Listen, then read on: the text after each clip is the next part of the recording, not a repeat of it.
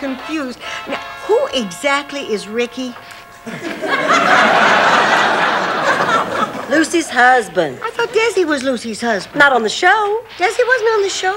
Desi played Ricky. Who did Lucy play? Lucy. I know, but who did she play? Lucy. Right, but who did she play? Lucy played Lucy.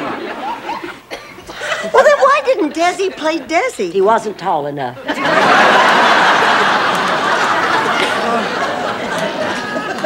I have never seen Kate so upset, and I am a wreck myself. I feel like this whole thing has happened to me. Like I'm the one who had my guts wrenched out and my heart stomped on.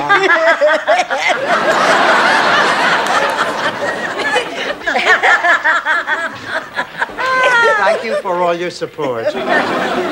Oh, I'm sorry, Dorothy. It's just Lucy doesn't know that that's really Fred dressed up as a burglar. I'm sorry, I didn't realize this was more important.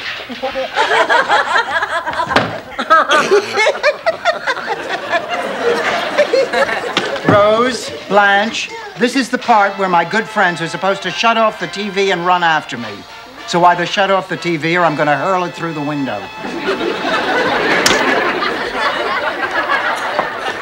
Thank you. I'm touched.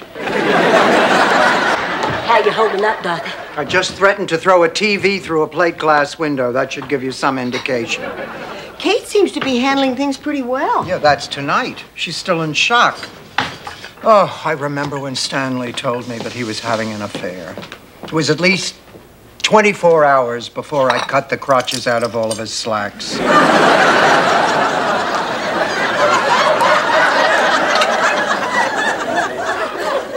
You didn't. Well, I was teaching English lit at the time. Symbolism was my life. Oh, I understand what you went through, Dorothy. I remember how I felt when I thought Charlie was cheating on me. Charlie? Well, we'd been married for 18 years. And up until then, everything had seemed so perfect. And then one night it happened. He came home, had dinner, walked upstairs, and went to sleep. I went into the bathroom and cried my eyes out. Rose, I don't want to encourage long stories, but it seems in this story you left out the, uh, The story. that's the word. Well, Charlie went right to sleep. We didn't, well, you know. When he'd promised? No. It's just that that was the first time that had ever happened in 18 years of married life.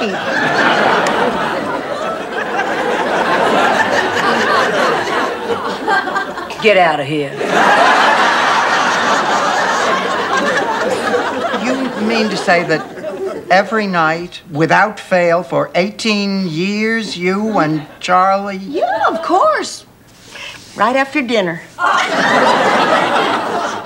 Well, no wonder you never heard of I Love Lucy.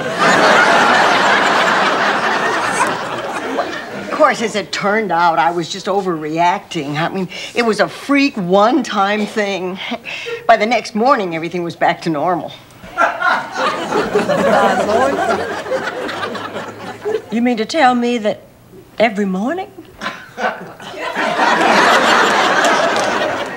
Charlie said that's why we didn't have headaches and we both had really shiny hair.